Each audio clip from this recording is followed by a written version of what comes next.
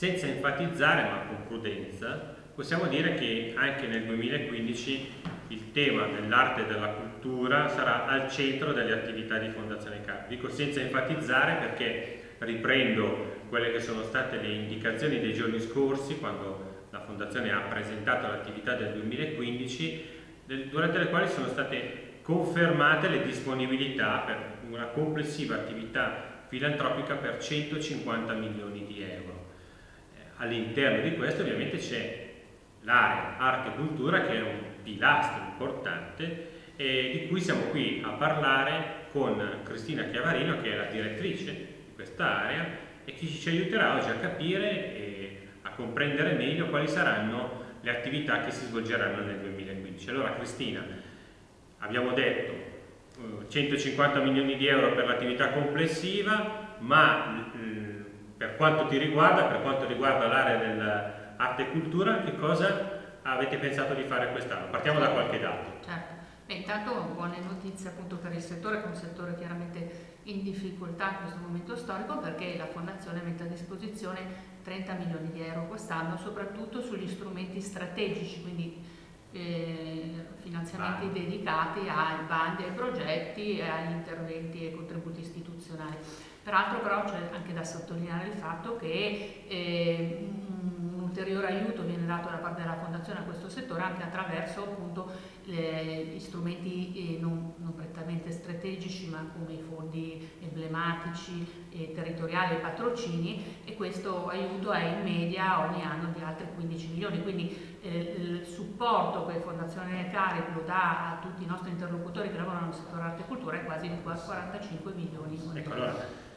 Cristina ha spiegato alcune, alcuni dettagli, eh, ovviamente è una macchina complessa la fondazione, questo vuol dire che dai budget iniziali che sono specificatamente allocati sull'attività arte e cultura, poi durante l'anno, a seconda dei progetti che arrivano a Fondazione Cariplo, ci sono questi altri fondi che vengono in qualche modo eh, dedicati ad attività coerenti e connesse all'arte e alla cultura. Quindi questo è lo scenario dal punto di vista dei numeri, lo diciamo sempre con prudenza, il che non vuol dire che non si sia in difficoltà in un contesto molto certo. complesso, eh, però diciamo, è una buona notizia quello che per quest'anno si riesce ancora a mantenere questa attività.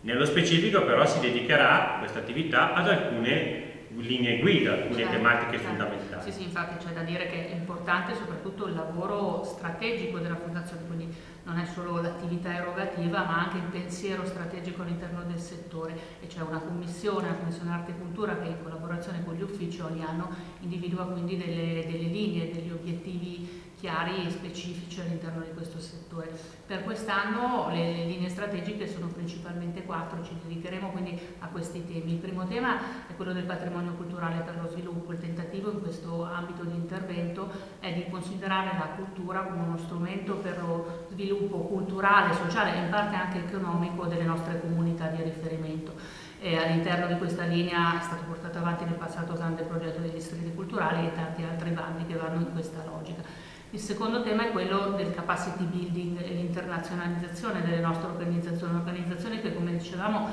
fanno fatica, devono essere rafforzate, quindi eh, in, in questo ambito di intervento eh, la Fondazione segue le, le organizzazioni in un percorso di miglioramento organizzativo e gestionale per renderle più forti e capaci di affrontare il momento di crisi. Il terzo tema molto importante è quello dell'innovazione culturale tema trasversale per la Fondazione, quello dell'innovazione, innovazione culturale e impresa eh, culturali giovanili, cioè sosteniamo i giovani e le nuove idee a, a svilupparsi all'interno di questo ambito di intervento il settore arte e cultura, quindi aiutando a trovare eh, un, un, un, percorso di, di, crescita e di posizionamento sul mercato sul, per quanto riguarda le imprese culturali giovanili. E in ultimo il tema della partecipazione culturale e della coesione sociale, cioè la cultura anche come elemento di coesione sociale, aiutando quindi le istituzioni a, a rendere più partecipati e più